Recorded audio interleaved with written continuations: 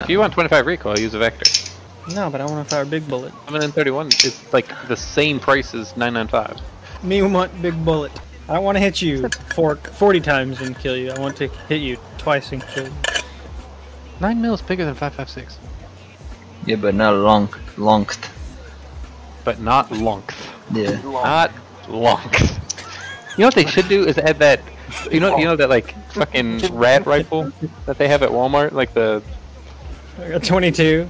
no, no, no, no the 17.